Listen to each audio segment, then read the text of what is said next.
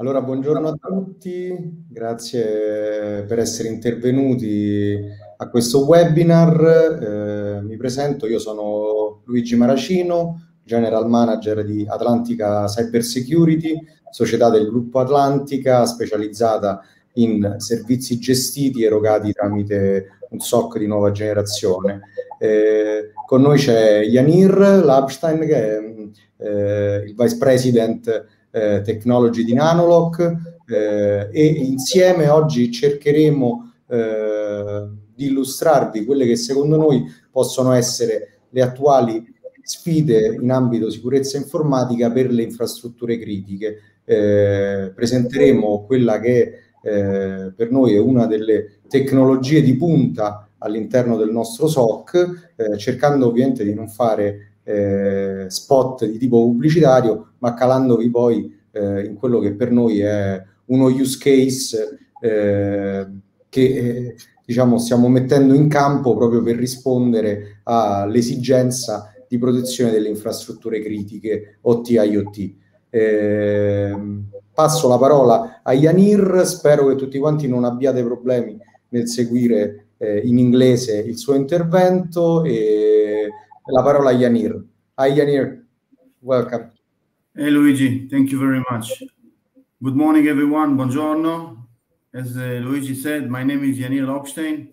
I'm VP Cybersecurity Solutions in uh, Nanolock Security. Uh, and I will uh, lead the first part of this uh, webinar. I'm very honored to be here with you and thank you very much for participating in this webinar. Before I will start and dive in, uh, allow me just to uh, briefly give you my background for you to understand uh, where the knowledge base is coming from. So before I joined uh, Nanolock, I was the head of uh, PwC Center of Excellence for Critical Infrastructures and ICS Cybersecurity for uh, approximately five years. And before that, I was managing the national SOC for the Ministry of Energy, uh, guiding all of the critical infrastructures in Israel, dealing with cyber event, uh, drills, audits, and so on. And before that, uh, playing cybersecurity in the government uh, in our very uh, unique neighborhood, both in defense and offense. Uh, okay, so the subject for today, let me just share with you the presentation.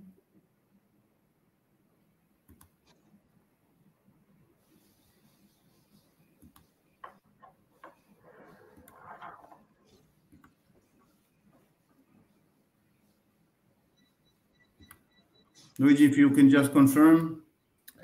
Yes, you can. Yes, I can see. I Excellent. Thank you very much. Well, today we will discuss with you how to tackle cybersecurity challenges, both in critical infrastructures, but not necessarily, also in the uh, industrial control system, manufacturing floor, and uh, essential infrastructures. What we are going to discuss about today, uh, after the introduction, we will discuss the challenges of cybersecurity in utilities, what are the utilities' biggest cybersecurity concerns, uh, what are the relevant security approach that are out there nowadays and uh, will take you a bit to the future. And how do we see the uh, new uh, new approach new paradigm that uh, uh, infrastructures need to take when they are uh, securing the industrial control systems? And what is the value proposition of Atlantica at Nanolock Security? And obviously we will give you some time at the end to ask questions. And please I invite you to ask questions uh, because it's I think it's very critical uh, to, lo- to learn from other experience. A few words about Nanolock. Nanolock is not a young startup anymore. We were established back in 2017. We won many prizes. Uh, the recent one uh, is from Baby Black Unicorn, which nominated us to be a very uh, big and successful startup. We operate obviously in Europe, but also in Japan and in the US. We are based in Israel. The R&D is located in Israel, but we have uh, uh, people and uh, representative all over the world. Among them, obviously, is Atlantica, which is a, a technology partner of us and also a system integrator for us. Our main fields are utilities, uh, service providers, industrial companies, both in uh, the countries that I mentioned earlier. What are the challenges that utilities are facing? Uh, I'm sure that most of you will be very familiar with that because you are having that those challenges on a regular basis. But let me try to summarize everything. First of all, our basic assumption that it's not a matter of if something will happen, it's a matter of when it will happen. So comes to that, that everything is vulnerable and eventually something will happen and those vulnerabilities will be exploited. Once you get the understanding that this is the, unfortunately, of, of course, this is the current situation, then you need to reorganize your cybersecurity controls and to align that with that assumption. What are the challenges that you are facing on a regular basis? Let's start with the obvious one, which is regulation and standard. Uh, for a matter of fact, in the in Europe continent now, uh, there is a, a, regulation called NIS directive that in a way required from any facility, utility, critical infrastructure to start taking measures to protect their operational technology or ICS environment. And the regulations are emerging and they are coming and eventually they will knock on your doors and ask to see that you took the right measures in order to A, to detect, B, to prevent, and uh, C, to contain a cyber event. So regulation is one of the challenges that uh, operators are facing on a regular basis. The second thing, and it's more related to the security uh, teams, how do you uh, reflect ROI? In most cases, it's very difficult to demonstrate return of investment when it comes to uh, security in general and especially in cyber control. But having said that, uh, nowadays people can uh, tell whether they were able to recover or to keep their business continuity even under cyber attack. And this is very important point that I want to emphasize. In some cases, even though that you are under a cyber attack in your IT network, your operational technology, your industrial control system can and should running because you can a separate between the two domains and b you can contain the attack on your IT network and keep running your operational technology business as usual. So this is when it comes to cost and ROI. Awareness of the employees, although probably you hear the term cyber awareness over and over again, and you see in the news every second Monday on a cyber attack, still most of the employees, and especially when it comes to those working in the IC, the engineering, working in the ICS and OT, tend to think that they are uh, resilient to that. Nothing will happen in my OT because we are disconnected. It's a in a matter of fact, nowadays it's not like that anymore. Most of the utilities are connected in some way, either to the IT or to the vendor or to the supply chain for telemetrics, for efficiency, for uh, uh, for the need of SAP to uh, learn and control your inventory. So it's not separated anymore. And I heard that uh, air gap concept so many times, but someone eventually will connect one of the devices for maintenance, for uh, telemetry, and oh, there you go, it's not isolated anymore. So this is another uh, challenge that you are facing. Another one is multiple platform. Each and every vendor, and especially when you're uh, relating to industrial control system, has its own uh, PLCs, has its own uh, platform that manage the DCS, the ICS environment, and that in a way uh, generate a situation in which you're in your control room, you have so many dashboards that you cannot control everything, and you are not necessarily able to detect whether it's a cyber event or a maintenance event. Uh, so multiple platforms is part of the solution and extremely related to that is the fact that you are having so many vendors in your uh, shop floor. Uh, each and every one of them with his own needs, with his own demands, with his own requirements. And soon as you are trying to do something, especially when it comes to cybersecurity, they are immediately um, jeopardizing their warranty, uh, not necessarily because there is a, a, a real need behind it. Uh, in most cases, I noticed that vendors are uh, giving you hard time because they want to deploy their solution. So vendor, although they are extremely good partners, in a way, when it comes to cybersecurity, they are creating uh, obstacles when you want to secure and to make your system more resilient. And above all, it's the operational continuity or business continue, continuity, which you want to preserve and ensure that it's up and running the way it should. So uh, operational continuity is not, it's a challenge that you need to maintain and all the rest are, uh, you can call them a constraint. What are the risks coming from those challenges? Now, I know this uh, timeline is, uh, some say it might uh, intimidate them, but this is the reality okay, in the last decade, we noticed a huge increase both in value, volume and sophistication of cyber attacks against industrial control system, against machines, against critical infrastructure. Some might say that it all begins back in 2010 when the Stuxnet malware was first discovered, a malware that was aimed to uh, disrupt the operational continuity of the nuclear uh, reactor in Iran. But since then, again, you can see the, the bullets.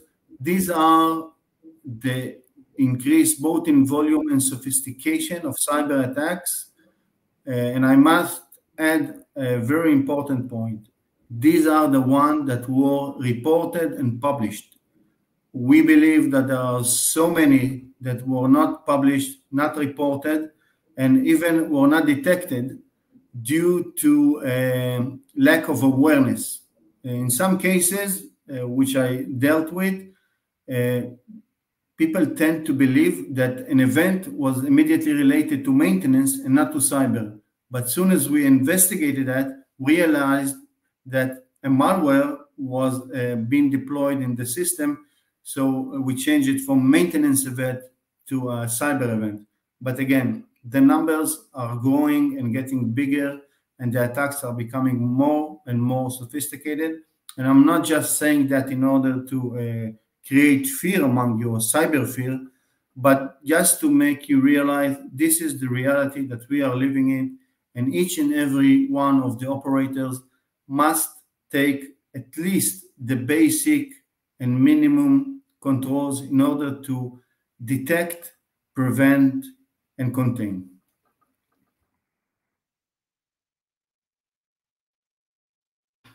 What can come out of a cyber event? Uh, obviously, the first thing is fraud and theft, and I'm sure that you are uh, well familiar with an event that uh, were caused by a criminal organization, uh, such as ransom attacks and so on.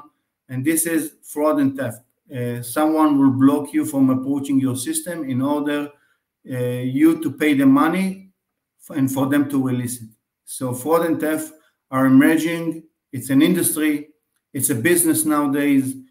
Uh, crime organization are creating very good business from the cyber domain and eventually they will identify which is the most uh, where they can get the most revenue from an attack and they will attack. They will attempt. They have money. They have. Uh, they don't have uh, constraints, and eventually something will happen. Data theft.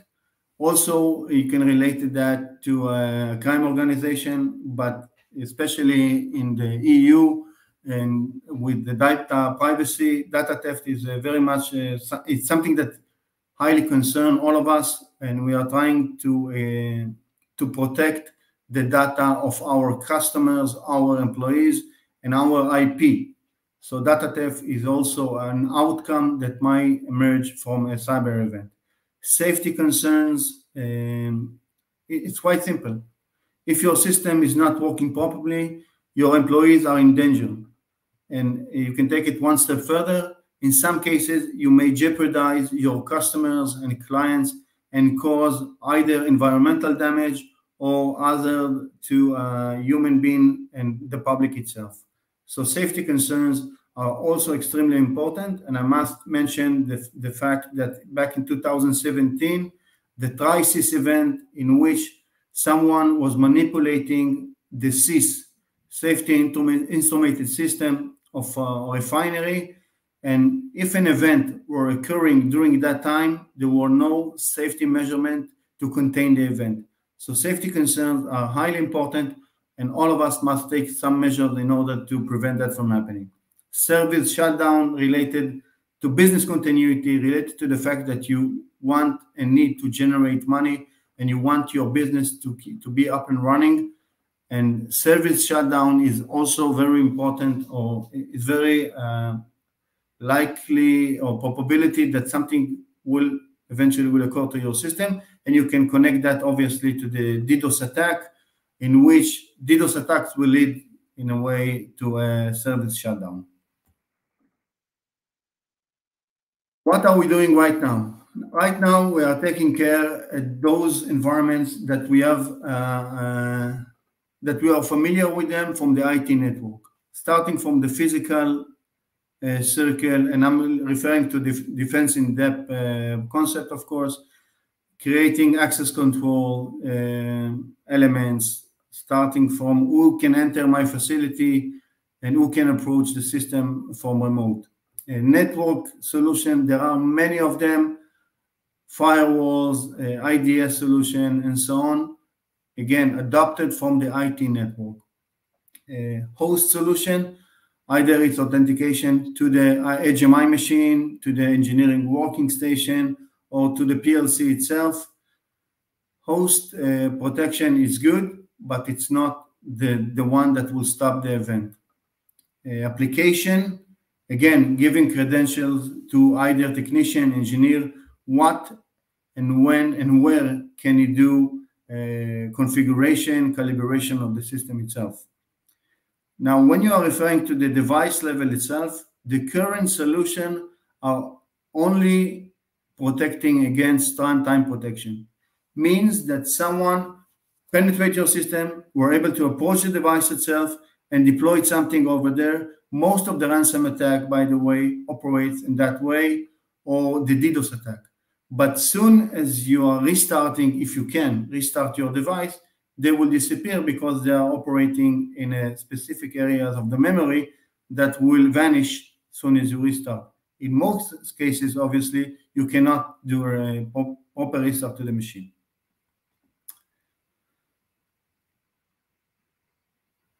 The cyber kill chain by Lockheed Martin demonstrate the uh, attack vectors that the attacker will uh, will conduct in order to get footprint on your devices the most fundamental thing is to get persistency.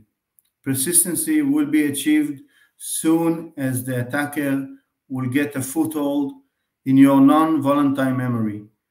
If you will be able to get a foothold in your non-volatile memory, then in most cases it's a very uh, big big concern because the ability to recover from such an event means only one thing you need to send someone to the field. In most cases, you need to change either the smart meter or the controller because you cannot approach it remotely. And even if you will reset the device itself, still, once the attacker took a foothold, put his foothold inside the device itself, a restart will not help you with that. So we are presenting a new layer of defense and this is basically the solution that Nanolock is providing. We are able to protect the non-volatile memory and to prevent. And I know that in some areas, preventing might sound a bit uh, concerning, but we were able to demonstrate and prove that we are blocking and preventing from a persistent attack to occur along, of course, with the vendor, along with the operator. And by that, we are eliminating and cutting the cyber kill chain that I was demonstrating earlier by Lockheed Martin. So we are presenting a new layer of defense with an embedded uh, gatekeeper that is literally preventing any attempt to modify or temper with the non-volatile memory where you keep your configuration, calibration, and so on. And that obviously illustrate where are we uh, being deployed in the cyber kill chain and what we are preventing, again, the persistent access to the device itself. What are the benefits of taking this zero uh, zero trust approach? First, you have a trusted and impact-free impact-free device functionality. We are protecting, and you the device will keep operating even though you have a cyber event in your uh, IT network, or even if you have it in your OT network itself. Reliable and secure and secure visibility our solution is being deployed at the device, and the device is reporting back to our platform in the most reliable and secure way. And in that way, you are able to see what is your device status, to get any kind of uh, forensic information in order to further investigate what is really happening in your device itself. And, and eventually, we are enabling you to quick recover from a cyber event with a simple device reset that in one way eliminate the threat itself but maintain the security on the device. As I mentioned earlier, Nanolock is preventing the outcome of a cyber event at your edge device level. Some of the benefits of Nanolock uh, it's a passive prevention, means that we are not consuming any CPU of the device. We are not jeopardizing uh, the energy of the device. We can work on neither electric electric based uh, devices or battery operated devices. We have very small footprint that is be being able to deploy it on any small storage that you have. We work also with legacy devices and both with new devices. As I mentioned earlier, minimal energy requirements, and it's very straightforward integration. Either uh, you deploy it, it's a matter of few weeks to deploy it, and then to provision it on all the rest of the network. It's very straightforward and a one-off integration solution. These are the uh, attack vector that we are preventing uh, outsiders, as I mentioned earlier, crime organization, hackers, and so on. Uh, insiders, either by intention or not, uh, by creating a third party authorization solution, you are able to better control what your employees are doing, and not just your employees, also your supply chains vendor. And obviously, human errors, we cannot no one can prevent human errors. A human will be always a vulnerability, but with Nanolock solution, the ability to control each and every activity of the device eliminate the ability or the chances of human error to occur. These are the domains that we are playing. Smart meters, either it's in the electricity, water or gas sector, industrial control system, uh, PLCs and so on against, again, human errors and so on. Back to you, Luigi. Thank you. Grazie mille, Yanir. Eh, adesso, diciamo, vorrei un attimo eh, condividere con voi eh, quella che di fatto per noi è stata eh, sostanzialmente l'applicazione eh, diciamo della soluzione Nanolock in un uh, contesto di, di, riferimento. Nello specifico eh, ci siamo trovati eh, di fronte a un lungo scouting tecnologico prima di arrivare a scegliere eh, Nanolock come eh, la soluzione eh, da mettere in campo all'interno della nostra infrastruttura e eh, la scelta è ricaduta su di loro per l'unicità eh, appunto della, della loro soluzione, che va esattamente a calarsi in contesti in cui gli aspetti critici eh, di business e di sicurezza sono ovviamente il focus primario. Eh, nello specifico abbiamo preso come riferimento uno use case legato a eh, aspetti di NIS compliance. Sappiamo che la normativa NIS eh, ad esempio proprio nel mondo delle utilities trova eh, un'applicazione fondamentale eh, relativamente alle eh, garanzie di sicurezza che eh, gli operatori operanti nel settore eh, utility devono garantire sulle proprie infrastrutture. E quindi abbiamo di fatto scelto questa soluzione insieme a una serie eh, diciamo di, di, altre soluzioni a contorno per creare uno use case eh, specifico eh, e poter dare in risposta alla normativa una serie di adozioni eh, tali per cui si innalzassero eh, in maniera significativa eh, i livelli di security di un nostro cliente.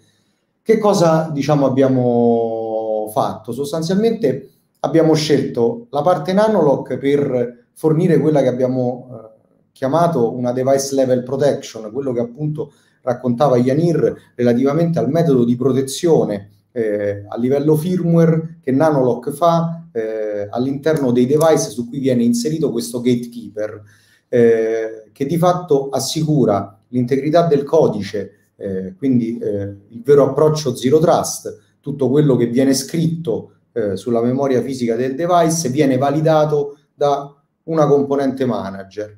Questo ovviamente previene attacchi di tipo persistente, valida in maniera sicura gli aggiornamenti over the air e eh, per quanto riguarda quella che poi è la funzione eh, della nostra azienda, cioè Atlantica Cyber Security, eh, poter aumentare la visibilità lato SOC eh, con gli alert anche a livello di device. Perché questo? perché le soluzioni diciamo, di OT IoT security eh, attualmente in commercio si basano fondamentalmente sulla eh, analisi e visibilità a livello network.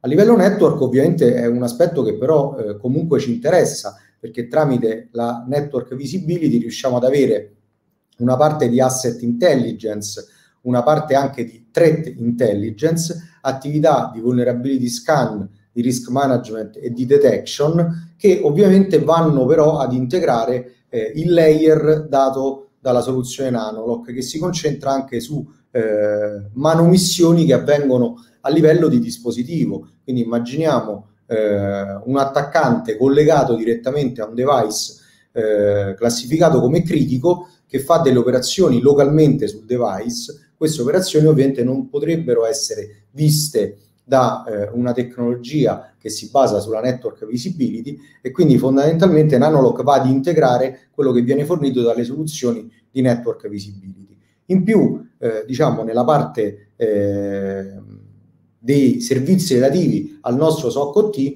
eh, di fatto questa soluzione ci consente di poter fornire un, uh, un avanzamento del servizio tipicamente SOC OT, integrandolo con la logica del manager detection e response tipicamente campo ad oggi eh, di soluzioni eh, basate sulla sicurezza delle infrastrutture di tipo IT.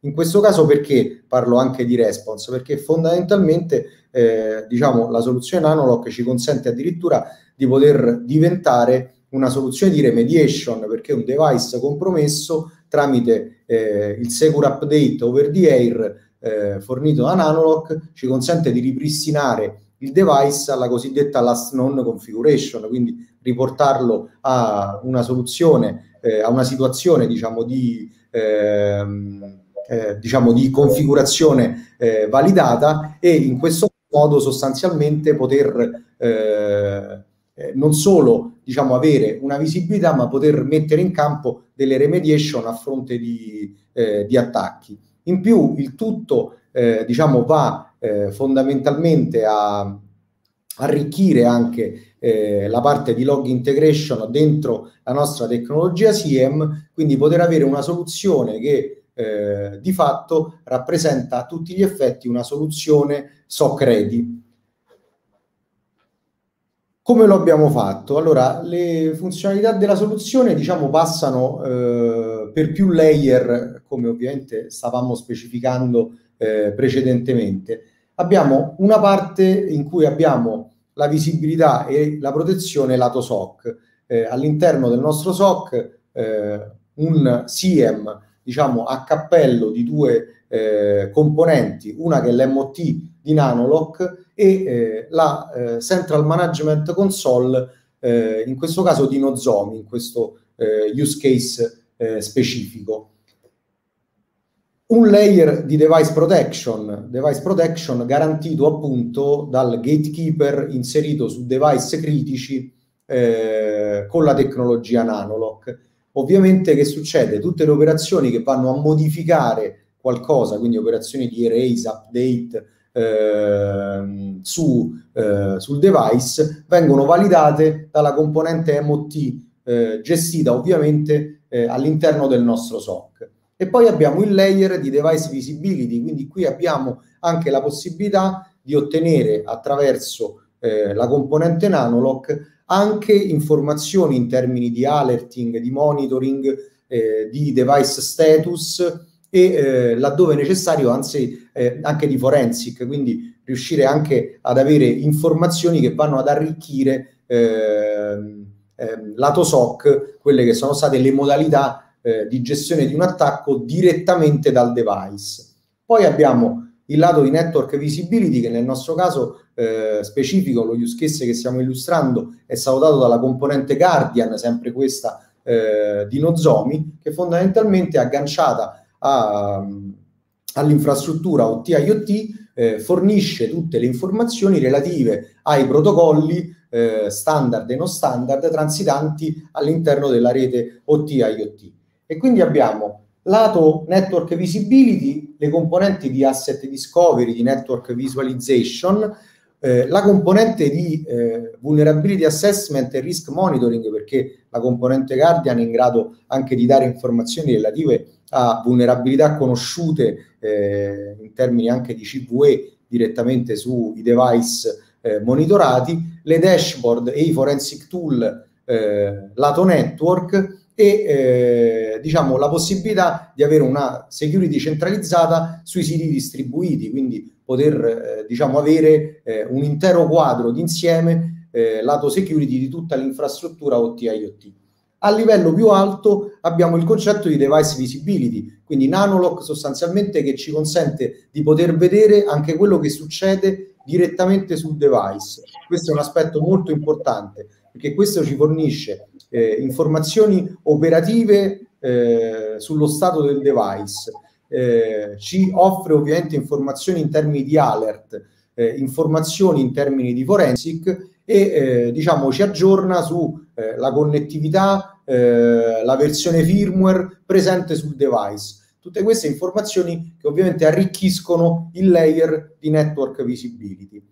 Poi, salendo ancora più su, abbiamo il concetto di device protection, quindi andiamo a posizionare Nanolock su quei device che vengono fondamentalmente classificati come critici. Nello use case che stiamo presentando, eh, Nanolock è presente eh, sulla componente RTU, quindi un apparato particolarmente critico, soprattutto in ambito eh, utility elettriche, dove sostanzialmente eh, diciamo, si ha eh, la certezza che tutte le operazioni che vengono fatte su questo device vengono poi validate dal layer più alto, che è quello dell'MOT, quello che di fatto viene poi gestito eh, dal nostro SOC. Il nostro SOC che eh, di fatto ha l'integrazione eh, tra Nozomi e Nanolock, quindi la capacità eh, fondamentalmente di Nozomi di poter interpretare eh, il protocollo di Nanolock e quindi fornire all'interno della Central Management Console tutte le informazioni anche relative allo stato di un device e non soltanto del traffico passante sulla rete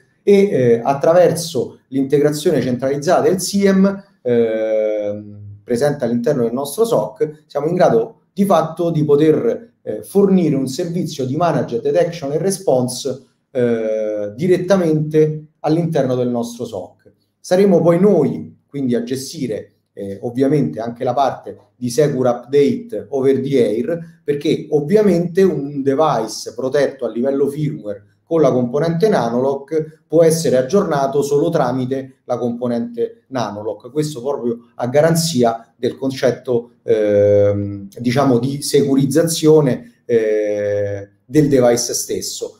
Quindi fondamentalmente noi attraverso eh, il Secure Update over the air siamo in grado di ripristinare anche eh, il device a uno stato iniziale nel caso in cui per un errore umano, come diceva prima eh, Yanir, per eh, un attacco di un insider piuttosto che eh, di un outsider eh, o eh, magari per ehm, diciamo un malfunzionamento. Quindi fondamentalmente in ciascuna di queste eh, casistiche siamo in grado di ripristinare il device utilizzando la funzionalità di Secure Update over the air.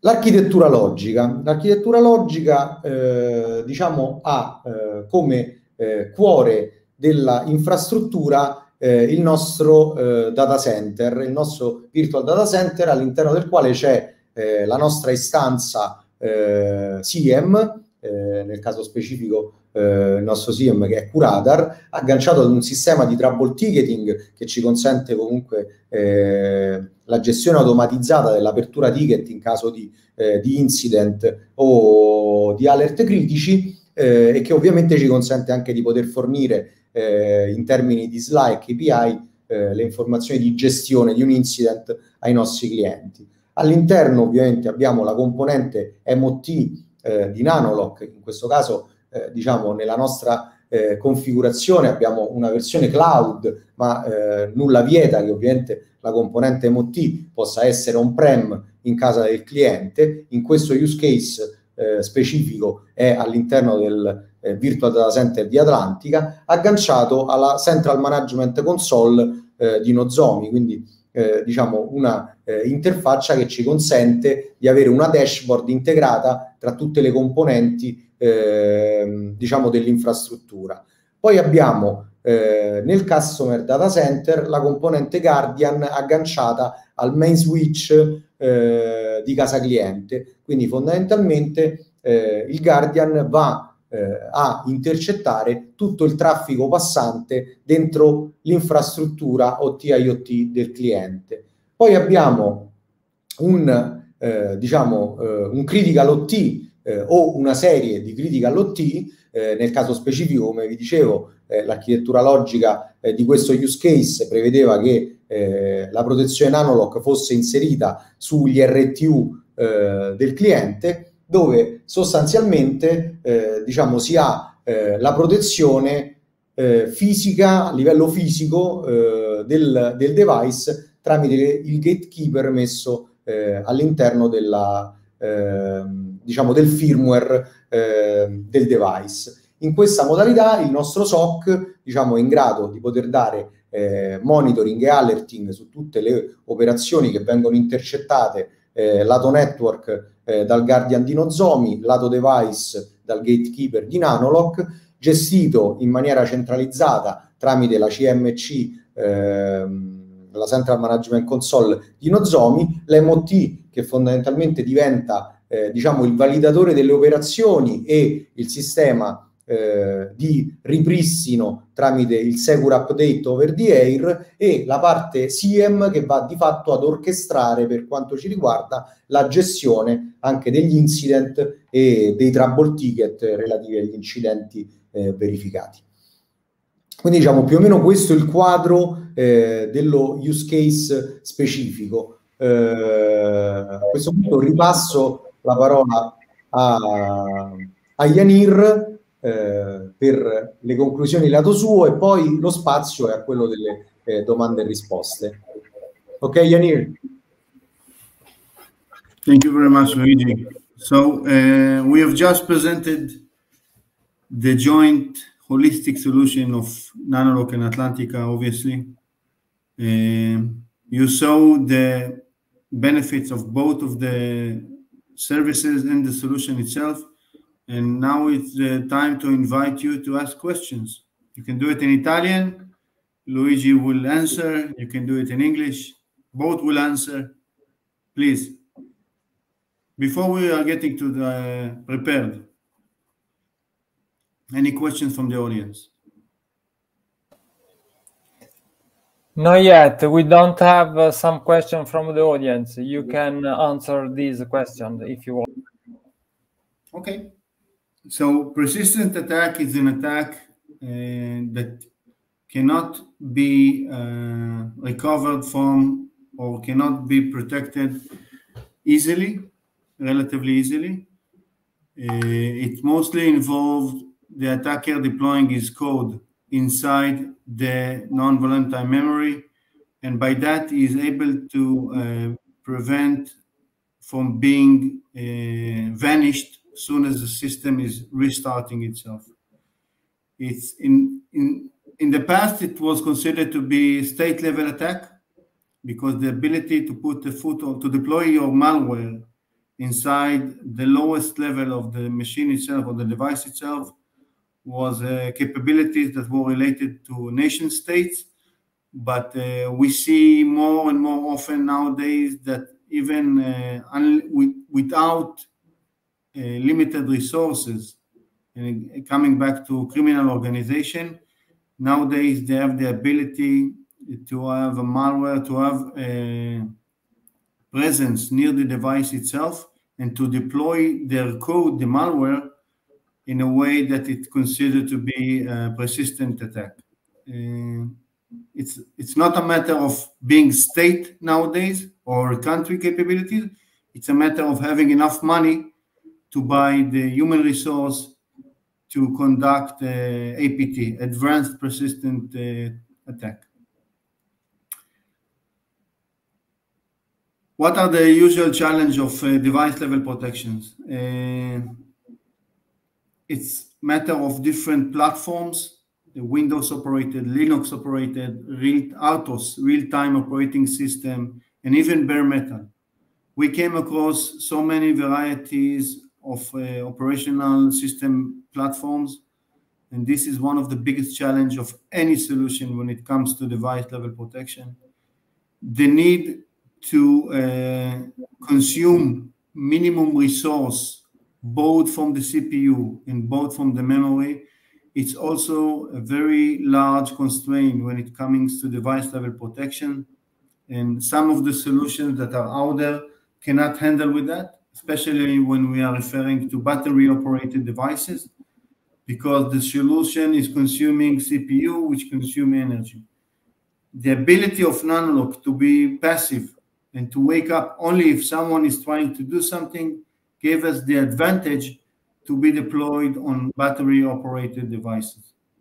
The types of devices that uh, need to be protected, basically any end device that uh, either is in your facility, in your parameter, or it's somewhere else in the field. Uh, either it's remote uh, facility and so on. In some cases, we noticed that even uh, common ordinary machines like a TV box need to be protected in order to prevent from data theft and so on. So basically, in the in the in the area that we are now, which everything is connected, IoT, IIoT, uh, the need for protection depends on the client, the customer needs. If you want your devices to be protected because you are afraid of theft or your reputation or the business continuity, then these devices need to be protected. I will stop now because I see there are some questions from the audience and I will refer to them. Uh, what are the weak points that you need to improvable about Nanolock solution?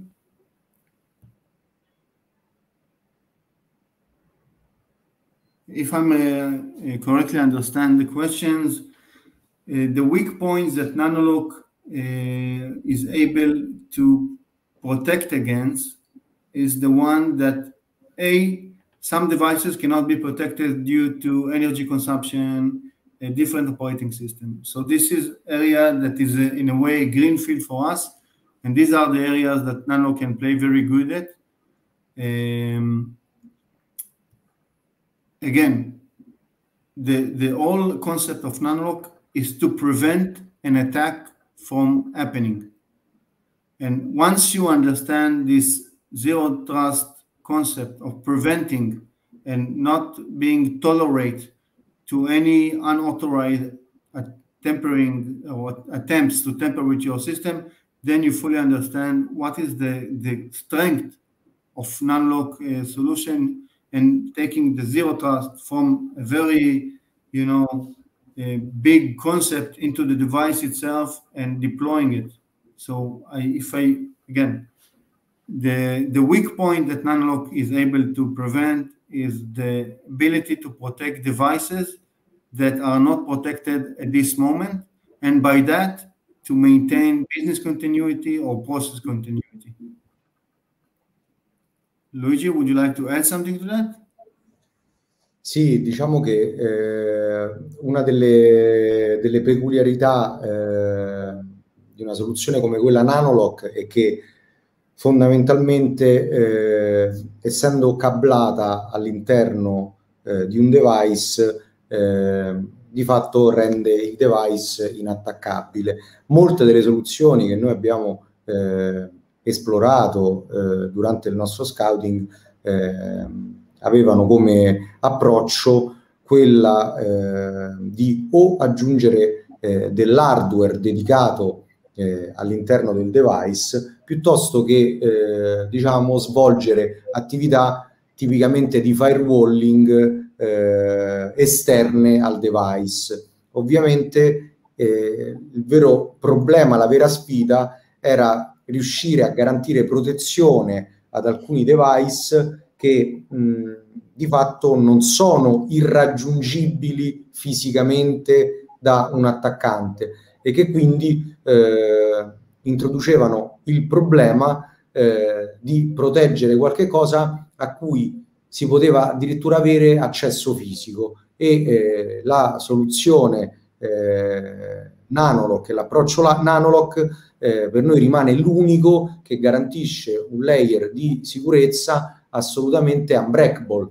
perché non è eh, bypassabile se non tramite procedure eh, diciamo eh, chiamiamole di sicurezza eh, attraverso le quali eh, poter utilizzare magari un portatile come un MOT, eh, diciamo portatile appunto, eh, che quindi consente lo sblocco eh, di un device magari da eh, un operatore di campo direttamente sugli RTU, sugli smart meter piuttosto che sui data controllers o comunque su apparati tipicamente critici delle infrastrutture di tipo operational technology.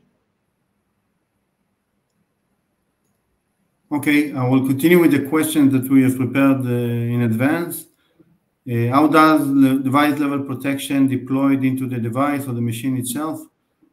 Uh, our R&D team uh, receive a device or a machine, analyze what are the critical elements that need to be deployed, obviously with the customer itself.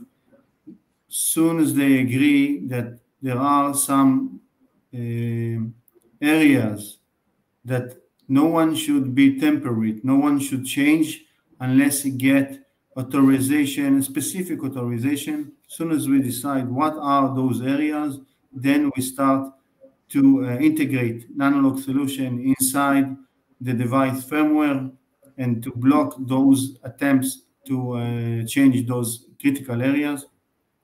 It's a process that takes few weeks we work closely both with the client and with the uh, vendor of the machine itself. Uh, we have some very beautiful case studies in which we were able to uh, integrate the solution in minimum time, but to create a very large impact in protecting either the device, the smart meter, PLC, RTU, and so on, or the machine itself that runs an operation uh, runs an operation. When attacker has the credential, uh, what happened? It's not necessarily an attacker. Let's put things in perspective.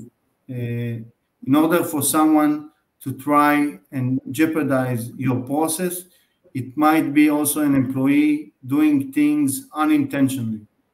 So even if you got uh, full credentials to approach the machine and to uh, have a technical or technician credentials to, to modify things, still you have to get a credentials and authorization from our Nanolock uh, platform, which is in a way a third party authorization uh, system. Once you get credentials that are monitored, that are controlled by someone else, someone else in the facility, Nanolock solution is not a, a solution that deploy in the cloud. It's deployed in the customer premises. So once this technician get the credential from the control room, then he can do changes. Any changes that he will do will be monitored, will be recorded, and uh, we will have, uh, you will have the capability either to block it, to approve it, and to log it for further investigation, further analysis, and uh, even to have it integrated to a SOC solution to analyze whether it's a cyber event or an operational event, and to come with a very bright and unique insight on what is happening in your device in your system. Uh, what happens when an OT device attacked through an IT environment? Again, uh, one of the strengths of Nanolock is the ability to maintain and to ensure the device normal operation, even when the IT environment is being under attack, even when someone is trying to jump from the IT environment to the OT environment because, as I mentioned earlier, our authorization, authorization mechanism will prevent any unauthorized event, no matter how sophisticated it is, from trying to jeopardize, temper, or change configuration, calibration uh, of the device itself. Uh, these are the questions that we prepared from advance. Again, I invite you to ask questions during our very magnificent platform.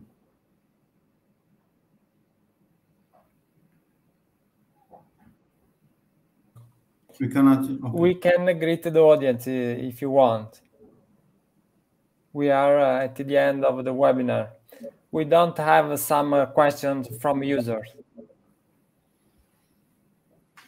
Okay, so I think uh, Luigi can summarize everything and we can uh, Allora sì, eh, intanto voglio ringraziare tutti i partecipanti, voglio ringraziare Yanir per la sua eh, disponibilità, eh, per la collaborazione eh, che sta dando, eh, il contributo che sta dando a, al nostro eh, SOC-OT tramite la tecnologia Nanolock e ovviamente quello che ci preme è riuscire a far comprendere il vero valore aggiunto eh, di una soluzione che attraverso una serie di integrazioni diventa una vera e propria soluzione di tipo SOC ready. Eh, aspetto per noi molto importante, eh, dato che eh, di fatto il eh, mondo eh, diciamo delle infrastrutture OT IoT è attualmente una diciamo delle sfide più grandi che si sta cercando di mettere in campo per l'approccio alla sicurezza di queste infrastrutture. Questo è un nostro piccolo contributo a, diciamo, alla causa proprio del, dell'OT e dell'IoT security e ringrazio ancora Nanolock per aver reso possibile eh, diciamo un un aspetto veramente sfidante eh, delle tematiche di cyber security attuali. Quindi grazie Yanir, thank you for your time. Grazie mille. It's always thank a pleasure.